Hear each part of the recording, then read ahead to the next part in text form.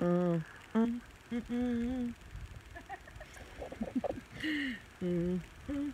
Mm. Slipped on a banana peel and went for a ride. It looks good, darling. Look how gorgeous that looks. It's just mystical and magical.